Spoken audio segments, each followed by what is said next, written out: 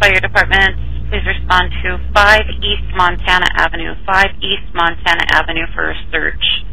78 year old male, uh, history of Parkinson's confusion, has been missing since 1230. Neil Carlson here in Winger, Minnesota with some breaking news early on a 4th of July morning. A search for a missing man started about 12:30 a.m. on this 4th of July. A 78 year old man with a history of uh, confusion wandered away from his residence. Law enforcement, the Winger Fire Department, and others began searching in vehicles, on foot, on four wheelers. Even a drone was used. Then, around uh, 5:30 a.m., five hours after the man went missing, he was located.